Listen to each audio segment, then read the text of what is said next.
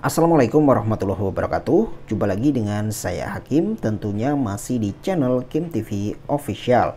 Di kesempatan kali ini saya akan share ke kalian Satu lagi aplikasi yang cukup menarik ya teman-teman Yaitu aplikasi pencari Gcam secara otomatis Berdasarkan merek dan tipe HP yang kita pakai.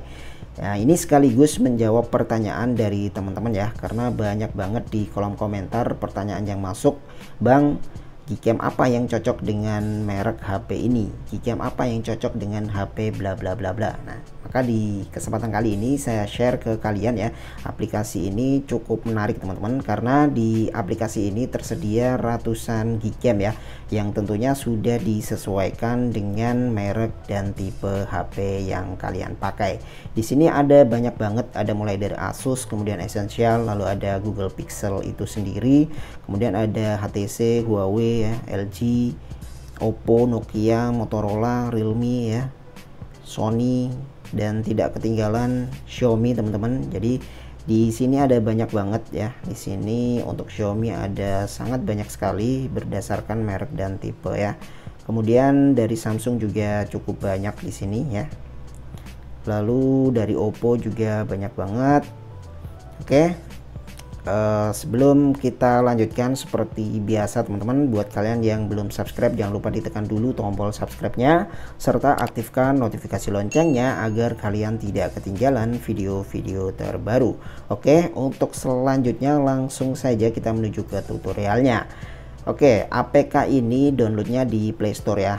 Uh, biar teman-teman paham di sini akan saya hapus terlebih dahulu ya Oke, langkah yang pertama silahkan kalian download dulu APK-nya. Nama APK-nya adalah Gcam Loader ya teman-teman. Nah seperti ini kalian ketik saja Gcam Loader seperti ini. Kemudian kalian pilih yang ini ya. Untuk developernya Xiaomi Xiaomi UI. Oke kita klik saja. Kemudian kita install. Untuk menginstalnya seperti biasa ya seperti menginstal aplikasi pada umumnya dan APK-nya cukup kecil hanya 7,5 MB oke ditunggu saja untuk proses installnya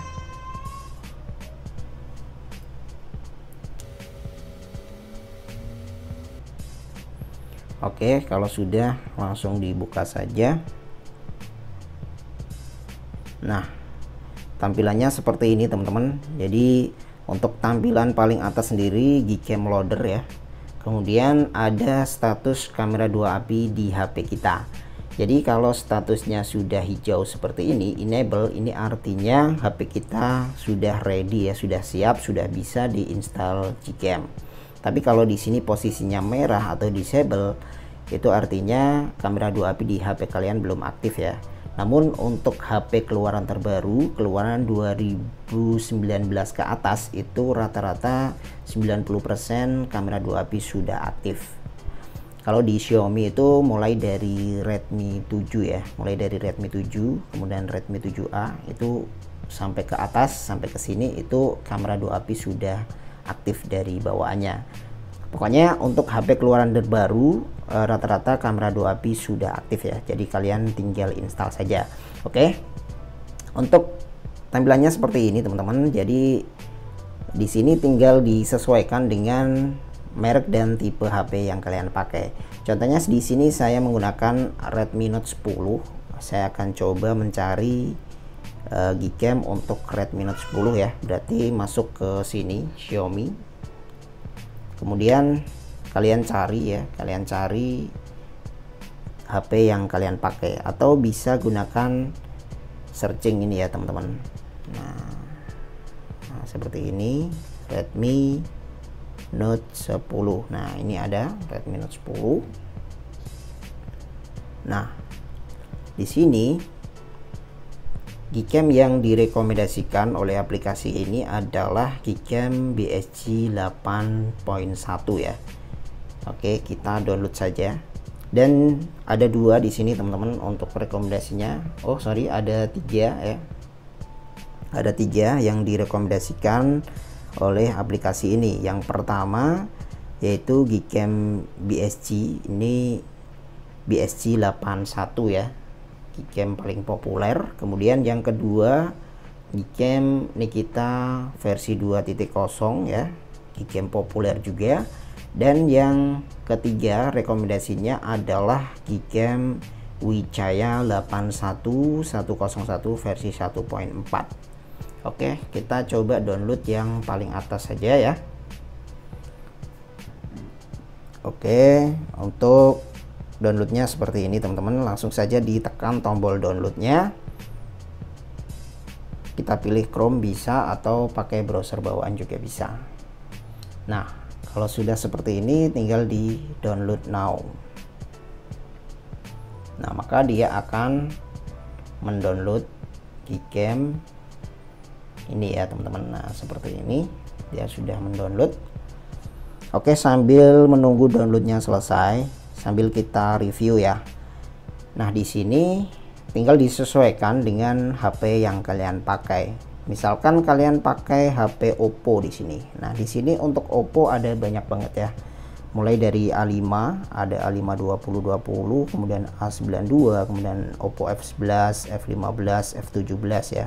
Kemudian Oppo Find X2 Lite Oppo Reno sampai yang terakhir ada Oppo Reno 2 Nah, untuk kita coba lihat yang ini ya. Untuk A5 2020 coba kita lihat. Nah di sini dia merekomendasikan ada 3 Gcam ya teman-teman. Nah seperti ini.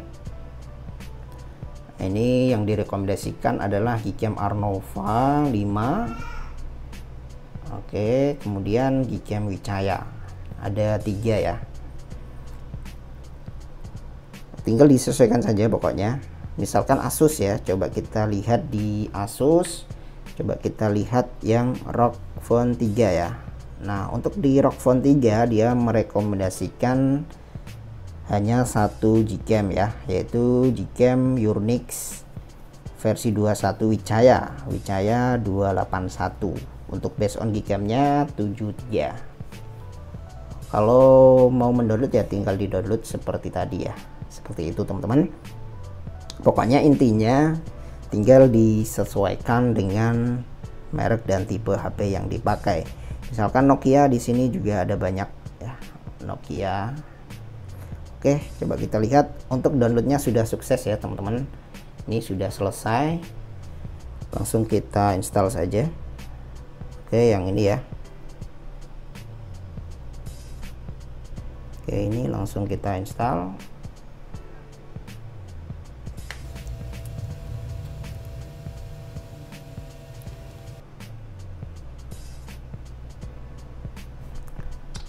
Oke, work ya teman-teman. Termasuk untuk mode portrait juga work lalu mode net side work ya sudah pasti work karena uh, Gcam BSG ini sering banget saya review ya. Dan sudah pasti work di HP saya di Redmi Note 10 ini artinya aplikasi tadi dalam memberikan rekomendasi itu memang benar-benar akurat ya teman-teman. Kalau boleh dibilang itu ya 90% itu sudah sesuai sudah benar ya. Eh, Gcam-nya memang benar-benar work.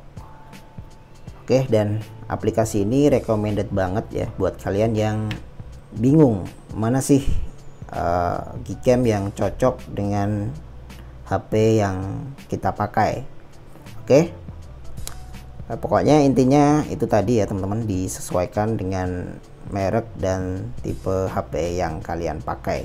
Di sini untuk Google Pixel juga cukup lengkap ya, mulai dari Pixel 2 sampai Pixel 5a ya, ada semuanya di sini. HTC, Huawei ya, untuk Huawei hanya ada satu Mate 10 LED ya. Kemudian LG cukup banyak di sini ya. Oke.